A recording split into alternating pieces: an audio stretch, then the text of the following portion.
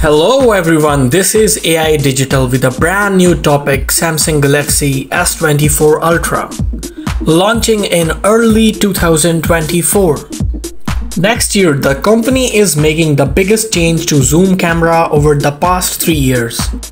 According to a report, the Galaxy S24 Ultra will reportedly feature more zoom level for one of its telephoto cameras. Design sticking with S23 series with Exynos processor back. Samsung will finally replace the 3-time telephoto camera with a 5-time telephoto camera on the Galaxy S24 Ultra.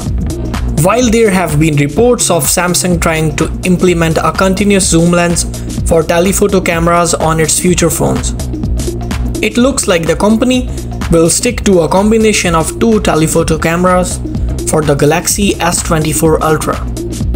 It has been reported that the Galaxy S24 Ultra will stick to a 200 megapixel sensor for its main camera.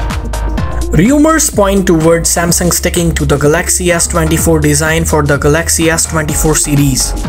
It means that the Galaxy S24, Galaxy S24 Plus and Galaxy S24 Ultra could have the same simplistic design on the rear.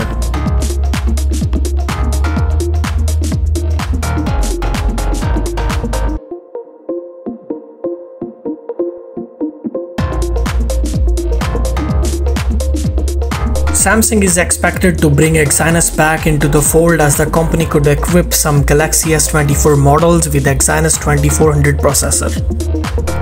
This chipset is reportedly made using Samsung Foundry's much improved 4nm fabrication technology and features a 10-core CPU and a 12-core GPU.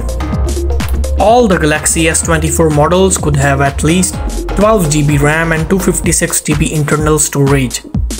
The company will also bring more RAM and storage to base variants of the Galaxy S24 with 5000 mAh battery.